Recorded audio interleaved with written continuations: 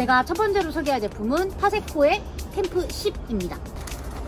파세코 제품 좋은 거 다들 아시죠? 아무래도 파세코 제품이 좀 안정성에서 좋은 제품이다 보니까 많이들 찾는 제품 중에 하나고 혼자 솔로 캠핑을 하다 보니까 큰 제품이 필요 없었고 사이즈가 좀 적당한 파세코 10 이 사이즈가 제일 적당했던 것 같아요. 파세코 10도 다른 제품들이랑 다를 건 없이 기름을 넣고 여기 안에 있는 심지가 하얀 색깔 심지에 기름이 좀 적셔져야 되는 상황이다 보니까 미리 텐트를 피칭하시기 전에 미리 여기다 기름을 부어놓고 적셔졌을 때 심지가 그때 이제 불을 붙이는 게 가장 좋고요. 여기 안전장치가 있어가지고 안전장치를 꼭 누른 다음에 시작해 주시고요. 이 부분을 돌려서 심지를 올려주시면 되세요.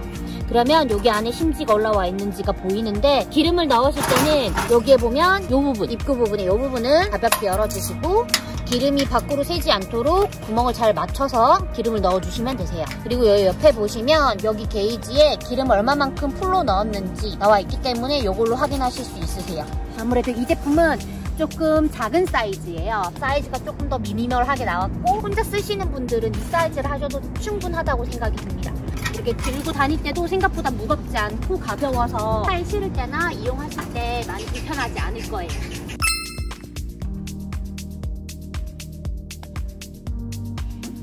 이 제품은 일단은 제리캔이라는 제품이고요. 기름 넣을 때 등육통이 필요하잖아요. 그래서 저는 혼자 쓰다 보니까 10리터짜리를 구매를 했고 이 제리캔을 제가 샀는 이유는 기능적으로도 굉장히 괜찮은 제품이지만 디자인적으로도 너무 귀엽고 예뻤고 그리고 대부분 캠핑하시는 분들 중에 등유통 좋은 거 쓰시는 분들은 제리캔이나 아니면 노스피를 많이 쓰시거든요. 두 개가 양대 산맥 같아요. 여기 보시면 요거를 꼭 눌러야지만 이렇게 돌아갈 수 있게끔 되어 있어서 굉장히 그 잠금 장치가 잘 되어 있거든요. 이걸 누르시고 이렇게 다다닥 할 때까지 이렇게 돌려주세요. 네, 빼면 이렇게 안에 주유 호스가 이렇게 들어있습니다. 기름이 묻어있기 때문에 좀 달달달달 털어가지고 기름 떨어지지 않도록 이렇게 빼주시고요. 그리고 요 끝에 있는 요 뚜껑 요것도 꼭 빼주시고 다시 원위치대로 이렇게 꽂아서 다시 이렇게 돌려주시면 주유가 가능합니다. 이 주유구를 열어주시고 여기에다가 끼워주세요. 해가지고 칼칼칼칼 들어가면은 기름이 삽니다. 그리고 빼실 때는 기름이 이 가쪽에 묻으면 좀 화재 위험이 있고 위험하기 때문에 이거를 뺄 때는 조심하게 좀 약간 이렇게 해서 탈탈탈탈 턴 다음에 이렇게 빼주세요.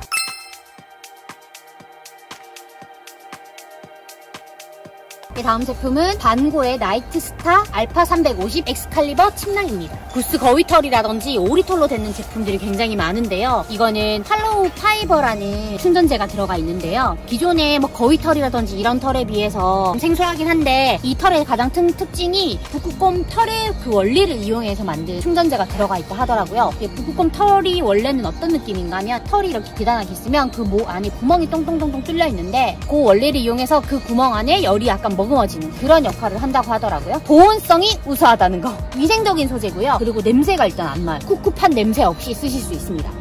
네, 어떻게 보면은 이게 합성 소재잖아요. 아시다시피 구스다운이라든지 이런 제품들을 쓸 경우에는 동물들에게 학대가 어느 정도 있어야 그 털들을 만들어서 그렇게 이제 충전재를 채울 수 있는데 합성 소재다 보니까 그런 부분이 없어서 굉장히 마음 편하게 따뜻한 마음으로 사용하실 수 있고 차박을 사용하시는 분들은 극동계 뭐 이렇게 백패킹 하시는 분들처럼 정말 찬바람이 막 오가는 그런 막 영하 10도, 20도에서 주무시는 건 아니란 말이죠. 100만 원, 200만 원짜리 구스 그런 침낭보다는 한 10만 원 대때 이런 제품들이 훨씬 더 가성비적으로도 좋다고 생각을 합니다.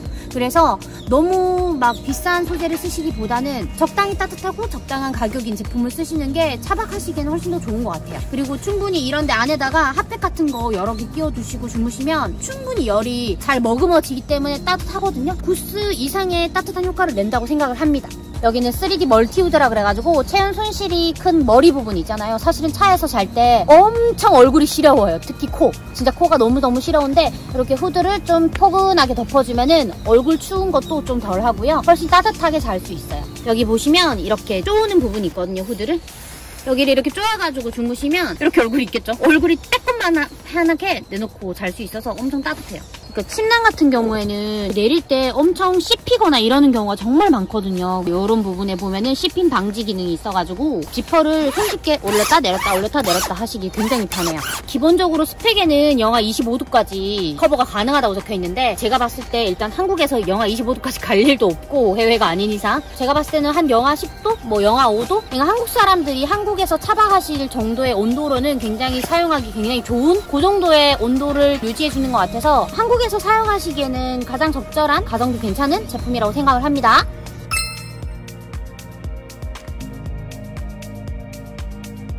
이 네, 제품은 보국전기 제품이에요. 차 안에서도 이 제품을 사용하려고 샀기는 한데 일단은 캠핑용으로 사용하셨을 때 조금 큰 단점이 있기는 해요. 대부분 캠핑장에 가게 되면 거의 대부분 600W 미만의 제품을 사용을 해야 되거든요. 근데 이 제품 같은 경우 강풍을 틀게 되면 캠핑장에 정전이 되는 사태를 맛볼 수 있고 절대적으로 약 온풍만 이용이 가능한 제품입니다. 자동 전 오프 기능이라 해가지고 제품이 30도 이상 이렇게 기울어지잖아요. 그러면 모든 동작이 정지돼 버려요. 그래서 위험한 사태, 뭐 예를 들어 누가 치고 가거나 이럴 때 어, 이게 넘어지다 하더라도 뭐 불이 날 염려가 없는 거죠. 그리고 이렇게 각도 조절이 2단으로 가능해요. 여기 보시면 회전 기능도 있어가지고 드시고 회전하면은 90도 정도 이상은 이렇게 회전이 되는 것 같아요. 방을 따뜻하게 하기 위해서 저는 집에서도 이 제품을 지금 사용을 하고 있거든요. 캠핑장 가지고 갈 때는 한 켠에다 세워놓고 뭐 손이나 발 같은 거 실어올 때 세워두고 야광풍 틀어놓으면 소소하게 따뜻한 그런 느낌이 있어서 인테리어 적으로도 이쁘기 때문에 좀 추천을 해드리고 온열기 제품들 보면은 먼지 필터가 굉장히 관리하기 힘든데 뒤에 이렇게 빼서 먼지 필터가 있거든요. 그래서 이것만 그냥 물 세척만 하면 되기 때문에 굉장히 쾌적하게 사용하실 수 있어서 관리가 굉장히 손쉬워요. 1.7kg라서 굉장히 가벼워요.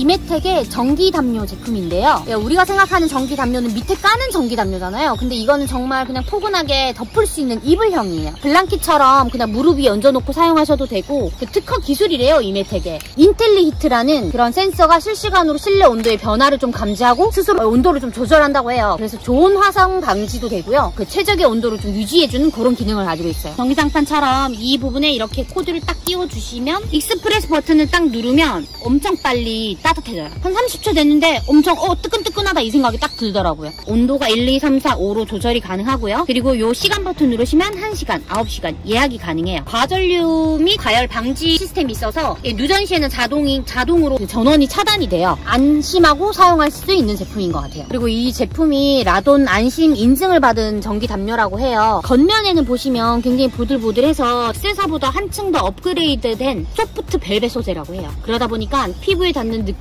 도 굉장히 보들보들하고요. 담요를 이렇게 만지면 전선이 어쩔 수 없이 조금씩은 만져지잖아요. 근데 이게 막 이동하지 않을까? 안에서 막 놀지 않을까? 이런 생각을 했었거든요. 근데 되게 특이한 점을 찾아냈는 게 이런 식으로 박음질이 중간중간 조금 조금씩 들어가 있더라고요. 이렇게. 아마 그 전선들을 이렇게 조금 조금씩 박아둔 것 같아요. 이동하지 않게끔. 안에서 막 놀지 않게끔. 그러다 보니까 이걸 세탁기에 돌려도 문제가 없는 거죠. 여기 있는 코드 부분을 이렇게 빼고요. 이 제품만 세탁기에다가 울모드로 돌리시면 세탁이 충분히 가능합니다. 1인 1인 기준으로 봤었을 때 150W로 하루에 6시간 한 달을 사용을 했었을 때 1,100원 밖에 나오지 않는데요. 굉장히 전기료가 엄청 저렴한 거죠.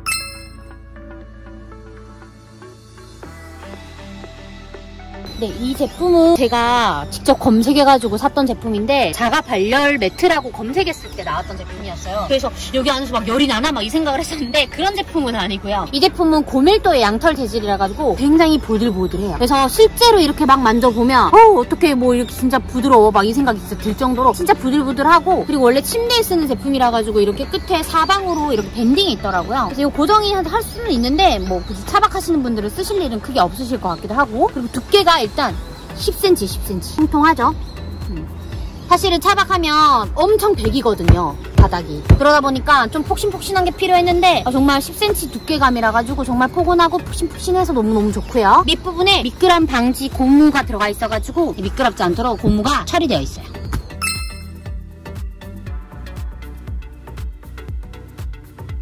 제가 엄청 차박 촬영할 때 많이 사용했던 거 다들 아실 거예요. 제 구독자분들은 많이 아실 건데 허그앤의 웜시트 제품은 아이폰보다 가벼워요. 반면 정말 제 주목만 합니다. 휴대성이 굉장히 좋아요. 이렇게 마구 막 구겨도 안에 있는 전선이 끊어지거나 해가 되지 않아요. 특히나 화재 위험이 없어요. 안심하고 쓸 수 있는 제품이라고 생각합니다. 이거 채로 이렇게 물속에 세탁을 하셔도 됩니다. 깨끗하게 사용하실 수 있는 제품이고요. 중요한 게 여기 버튼이 있거든요. 버튼의 색깔이 막 바뀌는데 온도 조절이 가능하다는 게 가장 큰 특징인 것 같기도 해요. 그리고 가장 중요한 건 차박하시는 분들 power bank 없으시면 사실은 보조 배터리 정말 많이 이용하시거든요. 저도 보조 배터리 굉장히 많이 이용하는 사람인데 보조 배터리에 끼워서 사용하시면은 2만 암페어짜리를 썼었을 때 길게 쓰면 2박 3일 쓰고요. 짧게 쓰면은 뭐 한 하루 쓰실 거예요 아마 분명히. 보조 배터리로 언제 어디서나 편하게 좀 사용이 가능하다는 거. 그리고 이 제품 같은 경우는 제가 차박 초창기 때 샀던 제품인데요. 이거는 쿠팡으로 구매를 했었고 가성비 굉장히 괜찮은 제품인 것 같아요. 액세사 소재 같은 걸로 되어 있어서 굉장히 부드럽고요. 방석이기는 하나 USB로 되어 있기 때문에 보조 배터리로 이 제품도 충분히 충전해서 사용이 가능하고요. 만원 중반대의 가격이었어요. 2만 암페어 기준에 뭐 1박 2일 충분히 썼었고요. 단점이라 하면 이 부분만 좀 따뜻해진다는 거. 아무래도 근데 대부분 제품들은 전기선이 가쪽으로는 잘 안 넣어요. 어, 굉장히 가성비 괜찮은 제품으로 지금 거의 1년 가까이를 사용하고 있거든요.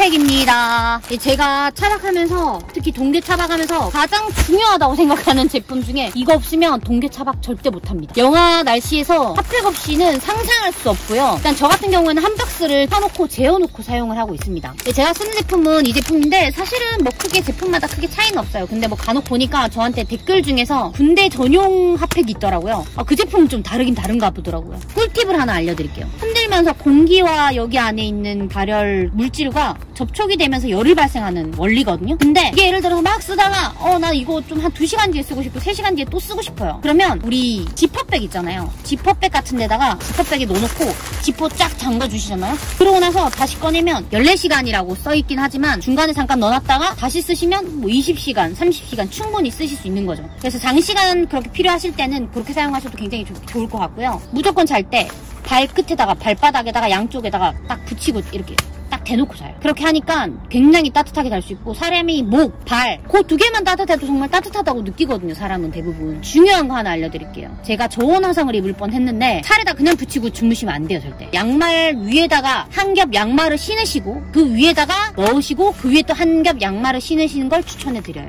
바로 피부에 이렇게 닿으면 저온 화상 입을 확률이 정말 큽니다. 텐트인데요. 정말 오토 캠핑이라든지 노지 캠핑도 엄청 전실까지 필요하신 분들은 도킹 텐트를 이용하셔서 그 차박을 하시면 좋고 스트레스 차박만 한다 나는 only 난 스트레스 차박 위주로만 할 거다. 요리도 해먹지 않을 것이고 굉장히 간단하게 차 안에서만 해결을 할 거다 라고 하시는 분들은 꼬리 텐트 정말 추천해 드립니다.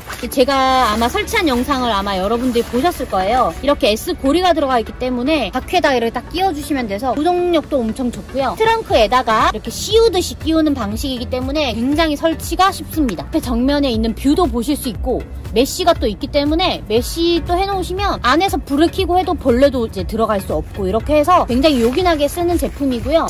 쓸때차 트렁크 끝에 쪽에 가는 부분이 이렇게 약간 망사로 되어 있거든요. 원래 사실은 여기까지가 정상 끝인데 끝부분에다 이 망사를 넣어서 벌레가 최대한 진입을 할 수 없게끔 약간 텐트의 스커트 같은 역할을 해주고 있어요. 그래서 이 끝부분에까지 아주 꼼꼼하게 막아줍니다.